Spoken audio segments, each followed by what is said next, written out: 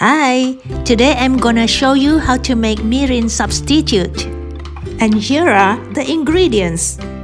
100 grams big onion, 2 tablespoons spring onion, 30 grams ginger. Then we need 4 tablespoons of red cooking wine, but if you have white rice wine, it's even better. And we also need 2 tablespoons of lemon juice. Now, let's bring 400 milliliter of water to boiling.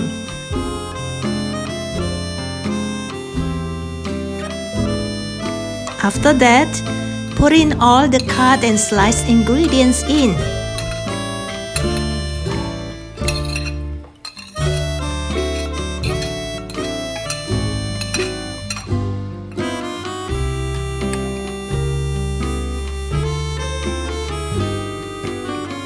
Bring to boil again and switch down the heat to the medium-low.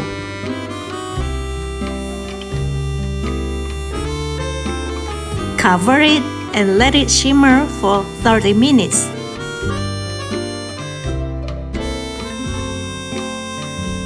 After 30 minutes, take out the waste.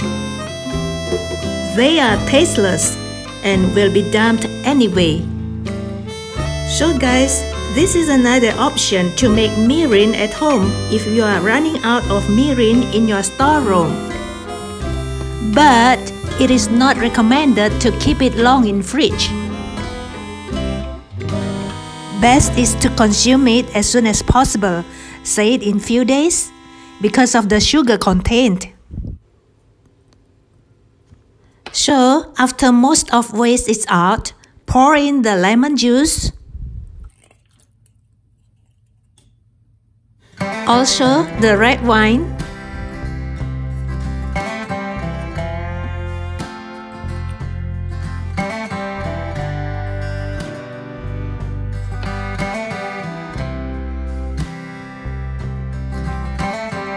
We need 50 grams of sugar and half a tablespoon of garlic powder. You may use fresh garlic too. Pour in sugar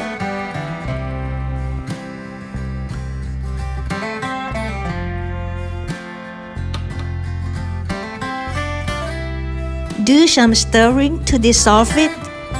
You may put more sugar into it, but you need to reduce the amount of it when you use it. As for me, I will use it all because I don't want to keep it.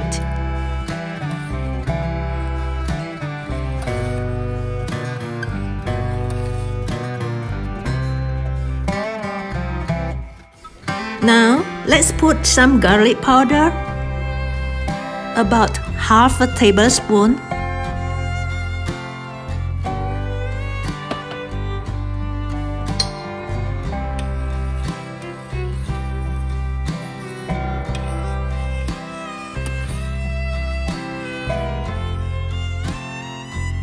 Switch off the heat.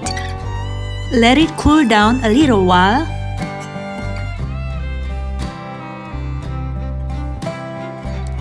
Okay, Let's prepare a filter and kitchen cloth.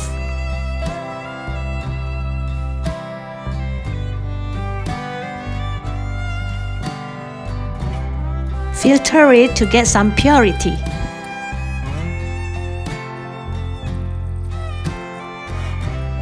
The liquid will go down slowly. After boiling for 30 minutes, actually the liquid shrunk or reduced some.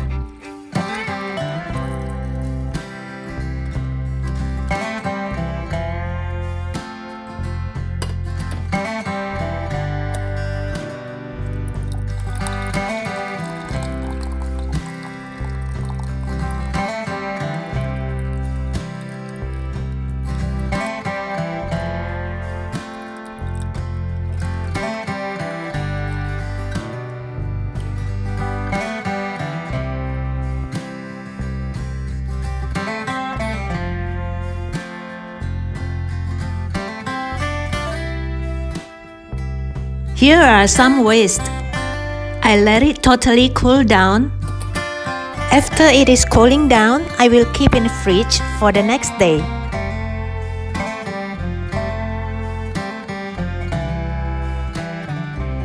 We going out for a walk?